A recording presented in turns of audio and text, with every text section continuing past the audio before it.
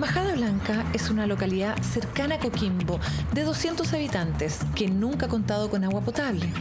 Nos encontramos con Juan Leighton, presidente de la Junta de Vecinos, y Pablo Cazorla, fundador de Remote Waters, responsable de un proyecto que trajo alivio a esta comunidad. ¿Cómo parte esta gran idea de Remote Waters? Estaba estudiando en la Universidad de Columbia y estábamos investigando sobre energías renovables y el Departamento de Energía de Estados Unidos planteó este desafío de quién podía ser una desalinizadora de bajo costo pero sustentable. Y fue ahí que uní esas tesis mías con la de un compañero para poder crear este desarrollo y que fuese útil, digamos, para las personas. Y luego de haber entrevistado a más de 100 personas, nos dimos cuenta que era en el sector rural, en lugares de escasez hídrica, donde realmente se necesita llevar la tecnología. Ahí volví a Chile y finalmente a través de Corfo y las ayudas de varios programas de aceleración pudimos construir desde el prototipo hasta un producto comercial y poder ofrecer este servicio tan necesitado en las comunidades de hoy. Me nace preguntarte cómo es el proceso de purificación. Sí, actualmente acá tenemos agua subterránea, no hay mucha, pero hay, pero esa agua no está limpia. Pero queremos transformarla en un agua útil y por lo tanto la pasamos por un proceso de filtración con tecnología que se ocupa para desalinización sí. y todo de manera autónoma con energía solar sin necesidad de operadores y luego de ese proceso de filtración el agua limpia la dejamos en un estanque para la comunidad y el agua de rechazo del proceso de osmosis inversa la dejamos disponible para efectos de regadío. ¿Qué papel juega la energía en la potabilización del agua? No existe agua sin energía o energía sin agua. Es un nexo unido incluso con la sustentabilidad.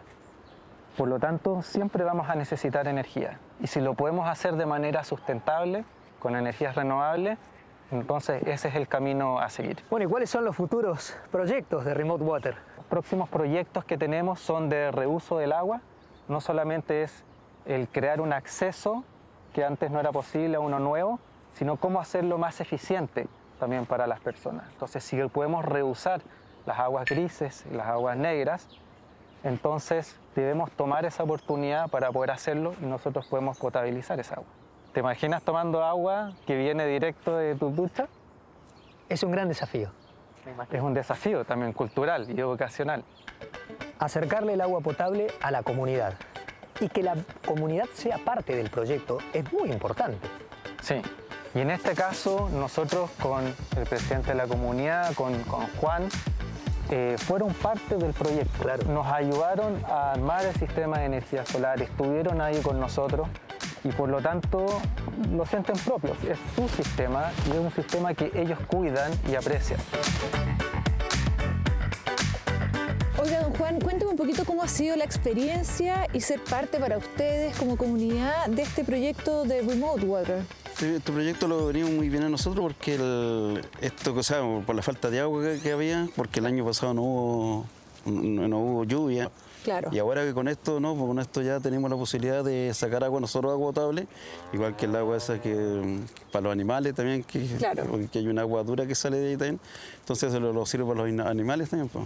Me imagino también para riego, tener huertitas también en las casas. Claro, para todo, eso lo sirve. Me imagino que esto le facilitó no solamente el tener agua a disposición acá en el mismo lugar, sino que también los costos, ¿o no? Sí, los costos, sí, pues, los costos, porque acá los mil, los mil litros de agua son seis mil pesos. Si uno, si uno comprara para una familia son 2.000 litros de agua que podemos ocupar en la, semana y eso hay una persona más. Pues. Sería son 12.000 litros. Imagínense que significa en el mes como 52.000 pesos. Y cuénteme, acá vamos caminando a esta caseta, en esta caseta hay cerca de 10.000 litros. 10.000 litros de agua. En un estanque y allá en ese estanque son las aguas que son más duras. Sí, son 10.000 litros también. Perfecto. Entonces cuando está el cargado el sistema, lo botan los 10.000 litros de agua de allá y los 10.000 litros de agua dulce. Ah, perfecto. Son 20.000 litros de agua que lo debo. No, me imagino que esto ha sido no solamente un gran avance para ustedes el poder pasar de camiones aljibia a tener su propio estanque de agua potable, limpia, que más encima sale de los mismos pozos acá. Sí, pues.